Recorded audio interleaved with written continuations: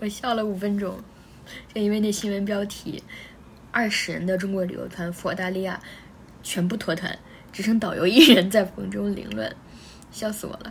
这都笑了五分钟，这个写标题的人很幽默哈。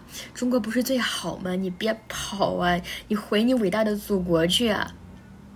可能这些喷我的这些粉红连旅个游都旅不起哈，要不然你早跑了，你别虚伪了。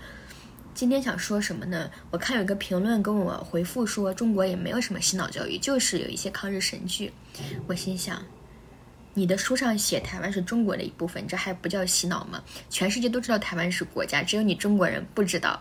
呃，最近那个喊的不要台独那个女的，喊的跟什么土拨鼠似的，哎呀，真是国际玩笑，笑死我了，一言难尽，真是。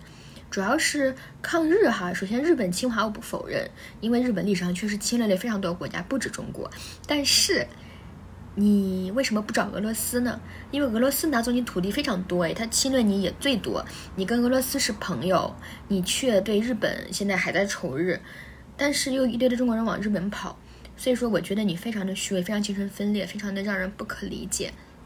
一到什么重要的日子，朋友圈就炸了，全是什么屠杀就是屠杀，勿忘国耻什么的。那你把俄罗斯的你的土地先拿回来呀，你有点勇气啊。加上你说要打台湾，说了七十年还没打过去，你就是一张嘴罢了。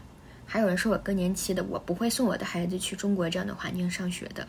那些所谓的博主哈，对比中美教育什么的，你自己的孩子在美国呢，你就没有说服力了。你说美国再不好，快乐教育再有缺陷。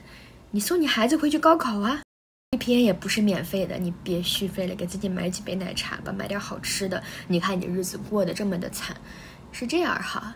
粉红，你知不知道你评论是在给我刷流量呢？因为我不需要很多粉丝，YouTube 是我观看量，时间到了我就可以申请向平台申请了。你是真想让我赚钱哈？一吵架吵个几百楼的。